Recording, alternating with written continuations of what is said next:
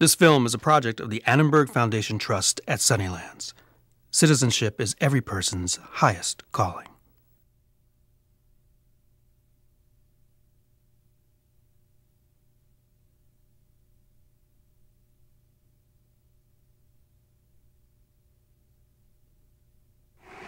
Let me ask you something. Anthony Kennedy is an Associate Justice of the United States Supreme Court. When you see those law books on the wall of an attorney's office or a judge's office, what's in those books? Stories. Real stories of real people. The world's greatest fiction writer couldn't invent some of these wonderful stories. Yick Wo goes to the Supreme Court of the United States. Who is Yick Wo? He's not even a citizen of the United States. Yick Wo went all the way to the Supreme Court to try to save his laundry business, and along the way, he ended up establishing a fundamental constitutional right for all of us. But before we get to Yick Wo, there are a couple of things we need to know. The first Chinese who came to America in any large numbers came during the gold rush. Gold was discovered in uh, 1849, and uh, many people from all over the world came to, to California to uh, make their fortunes in the gold fields. That's when you had large numbers of Chinese coming. They came to work, they came to make money. Their hard work was noticed by the companies building the Transcontinental Railroad. They brought workers from China to do manual work and, literally, to move mountains. The Chinese laborers were the only ones they could get to do it. The railroad sent their agents to China to recruit workers. It was very dangerous work. The Chinese would be working by being suspended on a rope. They'd put a charge of TNT, dynamite, in the mountain, and they'd say, now's the time, and they have to quickly pull them up before the dynamite went off. The completion of the Transcontinental Railroad is one of the greatest achievements of the 19th century, and when it was done, many of those same laborers went to San Francisco. To this day, it's still home to the nation's largest Chinatown. San Francisco's Chinatown was called the number one city because for Chinese, that was the main city that they arrived through on their way to any other place in California. And San Francisco was headquarters to the family and district associations that comprise the social organization for Chinese. So when one arrived by ship in San Francisco, one would go to the Chinese quarter, one would seek out one's family or district association, get a hot meal, a place to stay overnight, and it was also a place where one could send and receive mail, send money home, and also in the event of death, it would be the organization that would send your bones back to your family. They then wanted to stay, the Chinese in California, and were not too welcome because they were competing with other residents of California who wanted also to earn a livelihood. Chinese immigrants were 10% of the total population in California by 1880, but they were outsiders whose rights had to be protected by powers that were very far away. There were treaties between the United States and China. This provides for equal treatment. Under the United States system, all local entities are bound by a U.S. treaty. That's in theory. Remember, the law has to be sound in theory and fair in practice. And the difference between theory and practice can be very significant. Now, here's something most Americans today would have a hard time with. Until World War II, Chinese immigrants to America could not become citizens. We wouldn't let them. The Naturalization Act of 1790 only allowed white persons to naturalize. Then the language became more direct. The United States Congress passed the Exclusion Acts in the 1880s, suspending immigration from China and going one step further. The law actually prohibited Chinese immigrants from becoming U.S. citizens. Citizen of the United States means that you can vote. Uh, you can have political power to protect your interests uh, in local government. The Chinese did not have that advantage. You have to realize that in public discussion in California, dislike of the Chinese was expressed extremely openly. They wanted the Chinese immigrants to leave. neither the state or the city has any power over immigration. That all belongs to the national government. So they couldn't ban Chinese immigrants, they could just make their lives miserable. San Francisco was a hotbed of anti immigrant sentiment. And so San Francisco passed a number of local ordinance. For example, San Francisco passed an ordinance that anyone disembarking from a ship that landed in San Francisco Harbor had to pay an extra tax for every passenger that was Chinese. They also had an ordinance against lewd women and other kinds of undesirable people coming by steamer. Europeans came overland. Mexicans came overland as well. The only people who regularly came by steamer were the Chinese. Every dwelling had to have 500 cubic feet of air per occupant. Designed to target the Chinese who lived in very close quarters where the density was very high.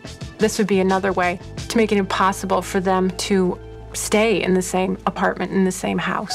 Since uh, the, the penalty for violating the law was either fine or time in the county jail, and most Chinese, when convicted for violating the law, would choose time in the county jail. And this irritated the uh, San Francisco uh, Board of Supervisors, and so they passed a law. Anyone who was convicted of a crime and was in jail would have to have their head shaved um, to within an inch. This was so obnoxious that even the mayor vetoed it. Wearing one's hair uh, for males in a queue or a, a tail was a required practice under the Manchu dynasty. It was a sign of respect to the emperor. So to have one's hair shorn would mean not only humiliation, but would mean that one couldn't go back to China without being arrested. These laws on their face seem to be neutral, race neutral, right? The steamer statute doesn't say just the Chinese, but it's obvious it's about the Chinese because they were the only ones who came in large numbers via steamer. Prisoners had to have haircuts, and this was really directed at the Chinese, which everybody knew. They knew that you knew that they knew this, uh, and yet the law looked fair on its face, and that's really the beginning for an understanding of, of, of.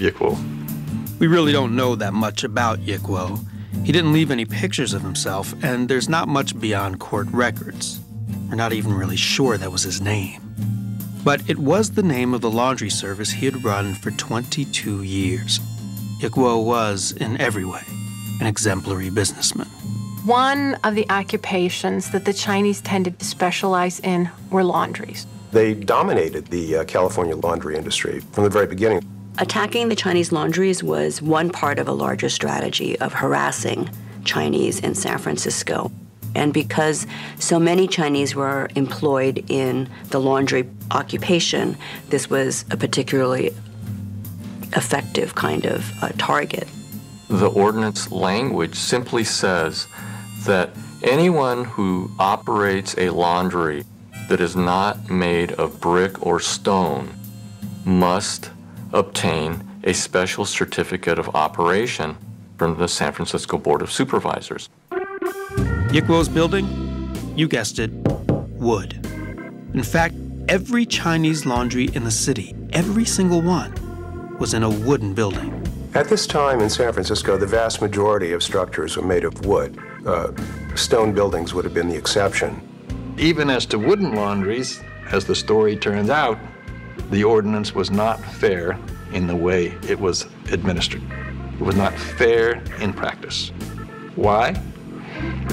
The record in this case shows that there were 280 permit applications for wooden laundries. 80 were granted, 200 denied. The 80 were all granted to Caucasians. The 200 were all denied to the Chinese. All the Chinese who applied were for permits were turned down. Not one Chinese laundry was granted a license. None. Zero. Goose egg. Ling. It's a 21st century metaphor to say that's not rocket science uh, to figure out that something was wrong. Something is drastically wrong. The Board of Supervisors ordered Yick Wo to shut down without ever explaining why, even though he had already obtained a safety certificate from the fire warden and he had also passed an inspection by the city's health department. Yick Wo refused to close, so he went to jail, where he would fight his case from behind bars. The Chinese had a well developed legal consciousness. They know that the, the, they were not totally without protection, even though they were very, very vulnerable. Um, they knew that they could go to court. It took tremendous courage and a willingness to put your neck on the line if you're Yick Wo to file this lawsuit. But I actually think that the attorneys that brought these lawsuits deserve a certain amount of recognition as well because they were going against the popular grain. With the help of one of the most powerful associations in Chinatown, the Chinese Laundrymen's Guild, or in Chinese, the Tung Hing Tong, Yick Wo hired Hall McAllister, widely considered the best lawyer in all the West. There's actually a statue dedicated to him outside of San Francisco's City Hall today. In all, 150 laundry owners got themselves arrested for resisting the ordinance. Two cases went through the courts. Yick Wo took his case all the way to the California Supreme Court, where he lost. Another owner, Wo Lee, took his case to the Federal Ninth Circuit Court, where it was heard by Judge Lorenzo Sawyer. Judge Sawyer realized early on that state and local government in California was using the police power as a cloak in order to mask legislation that they were passing that specifically targeted the Chinese. Police power is a concept that goes about four centuries back to England and the development of towns and cities. And it's the idea that there are some rules and behaviors that are best regulated and enforced by local government public safety and order, health issues. Even something like making sure that butchers and bakers have scales that actually weigh a pound when they say they weigh a pound, that would have all been under the local police power. But the Civil War changed that a little as many states and cities had laws that were at odds with the federal Constitution, slavery being the most obvious. The 14th Amendment was virtually brand new, ratified just three years after the end of the war, and it guaranteed that everyone throughout the country would be protected by the same fundamental rights equally. And Judge Sawyer cited it in his opinion. The city was using police power as an excuse, that the laundry ordinance was so vague it allowed the city to discriminate because it never had to explain how it decided who got a license and who didn't. Sawyer was disgusted. He says, Everyone knows what is going on here. We all know this is discrimination against the Chinese. I'm not going to pretend I don't know it just because I'm a judge sitting on the bench. Judge Sawyer was no slouch. He had served on California's very first state Supreme Court, and he knew that Yick Wo had already lost there. So he deferred to that court and decided against Wo Lee, knowing that both cases, being virtually identical, would get bundled as one case and go on to the Supreme Court of the United States.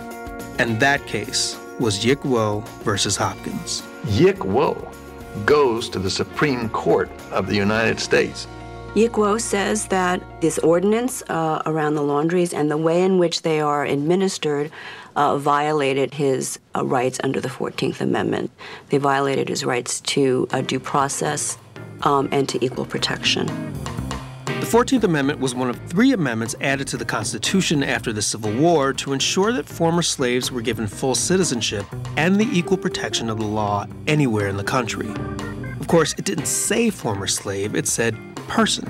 So even though Yick Wo wasn't a former slave or a citizen, he figured that the 14th Amendment applied to him too. San Francisco argued that, in the end, none of that mattered. The city says that they're not discriminating, that the language of the law is neutral, does not single out any class of people, um, and if the Chinese are found wanting in any way, it is because the way in which they run their laundries is wanting.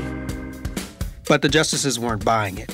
Justice Stanley Matthews wrote the opinion for a unanimous court, saying that the local ordinance was a violation of the 14th Amendment's guarantee to any person the equal protection of the law. In its very first decision based on the Equal Protection Clause of the 14th Amendment, the Supreme Court chose to protect the rights of a Chinese immigrant who was not an American citizen. But he's a person. And the Supreme Court of the United States read the 14th Amendment, and you can read the 14th Amendment. No person uh, shall be denied equal protection of the law. Not no citizen, no person. Yick Wo is one of the very first cases to construe the 14th Amendment, to say what it was that the 14th Amendment meant. Yick Wo means that uh, an immigrant uh, has the same protections um, under the 14th Amendment as citizens. It's also the first case to say that a law that is neutral on its face, as this one was, could be applied in such a discriminatory fashion uh, that it would uh, amount to what the court called a practical denial of equal protection. Justice Matthews insisted that legitimate police power had to regulate safety and health practices more clearly, and it had to be applied in good faith. San Francisco's laundry ordinance was too arbitrary. Arbitrary is one of the really important words in constitutional law. Arbitrary means no reason. The law is based on reasons. The law is based on standards that are open, that are transparent, that are fair. The law says you're entitled to this permit. It's your right. You have a right to that permit. This is not understood in many parts of the world. Not long ago, I was interested in knowing how long it takes to get a license, a permit, to have a bakery in Egypt.